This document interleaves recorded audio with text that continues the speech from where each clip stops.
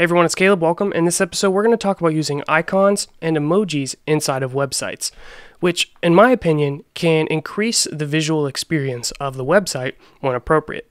A lot of people consider them to be unprofessional, but I think that if used right, they can actually make your overall website experience better. I think that has a lot to do with the context as well as how many you use. You definitely don't want to overdo it. But there are a few things you can do without having to install any kind of dependencies or other projects. You can just start using different icons in your website. And that's what we're going to show you here. The first thing you should know is that most editors are going to support emojis. So you can say Command Control Space on Mac, and that's going to open the emoji list.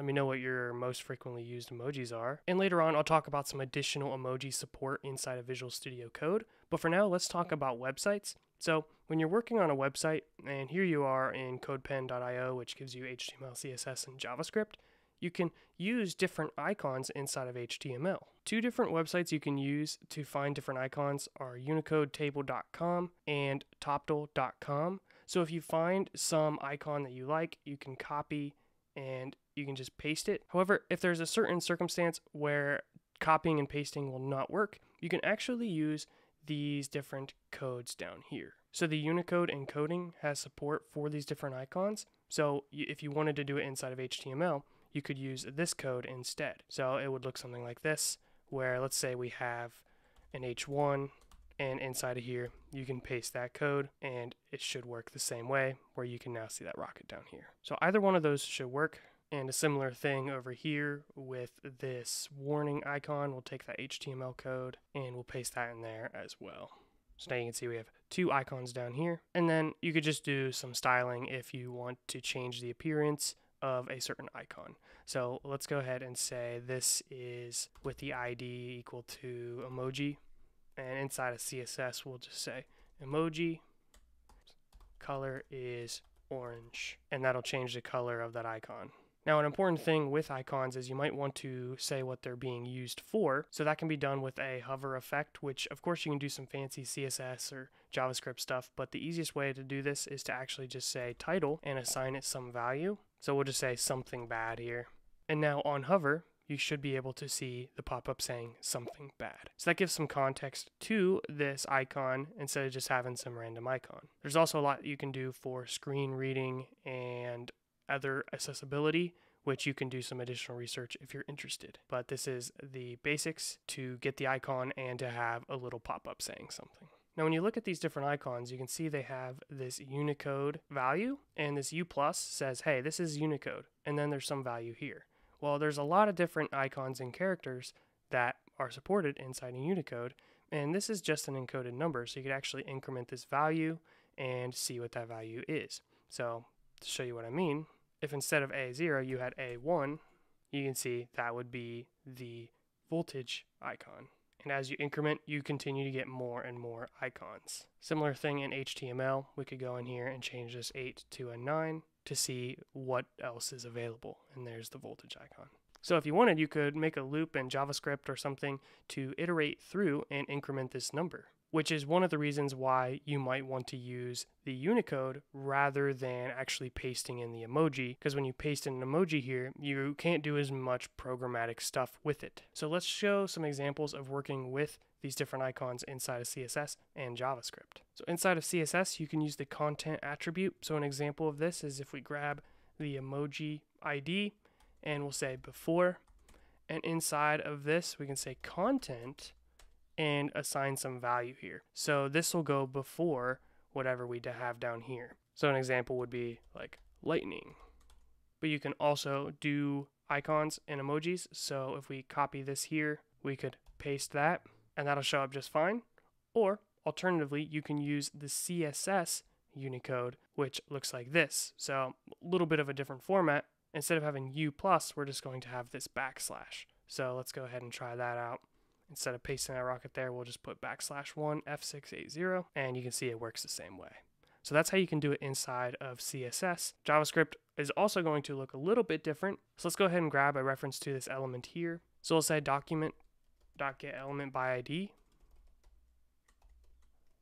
And inside here, we will pass in emoji, which is the ID of this H1 over here. and we can use the inner HTML attribute.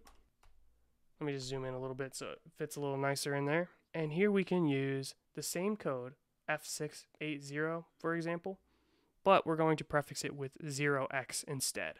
So 0x F680. Now, when we do this, immediately we're just going to get the value down here, which isn't exactly what we wanted. So we actually need to convert this by saying string dot from code point. Pass in that value. And let's go ahead and increment this just to get a new icon to see what it is. Just have a little typo there. So from code point. And you can see it's this box, which usually means an unsupported icon. All right, there we go. That puts a smiley face in place of whatever's already in the HTML here. And there we show how to do it in HTML, CSS, and JavaScript.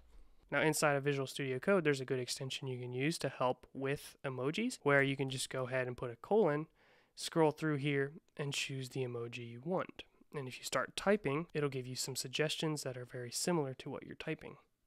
This is pretty handy and I think a little bit of a better experience than using the built-in one here, but this will work as well. So to get this, what we need to do is we need to go to the extensions, and it's called Emoji Sense by Matt, however that last name is pronounced. When this is installed, it should work for the default file you have open. However, if you're going to be working in other languages, it might not work by default. So if you want to set it up so that it works in different languages, you know, if you're writing HTML for a website, for example, you can go into the extension settings. And then for the languages, you just hit edit in settings.json. And you can see I added this whole list of supported languages. So if you want, you can just add the ones you're working on, just copying this code I have here. And this entire list can be found in this GitHub issue to add it in all languages. So you can copy and paste this exact code. And when you do that, you'll probably want to add a comma after the end here so that you can continue on with the rest of your settings. So you can see down here, add that comma, and then I put the rest of my Visual Studio Code settings. So that will allow it to work inside of HTML files and all these other languages as well. Now, the last thing I wanted to mention is that these emojis are platform specific. So what looks like a rocket for one person may actually look a little bit different for someone else. Now, in general, they still all look like rockets. However, you can see these give completely different experiences depending on which platform you're on. So if it's the case that you're using an emoji and you want it to be exactly the same across all these different platforms, what you need to do is you actually will need to use a small image or an icon library that can be consistent across all platforms. So a quick example is you go to this and copy image address, and then inside of HTML, say image source, and you probably want to have this local, but for now, just use this URL, and you can see we get that exact icon here, and then you can just style it with CSS to get exactly the size that you want. That's all I have on this video on icons and emojis, so hopefully that was a good introduction. If you found this interesting and you'd be interested in me covering some of the different icon libraries out there, then definitely drop a comment on which one you'd like to see. And with that, thank you for watching, and be sure to subscribe. I'll see you in the next video. Peace out.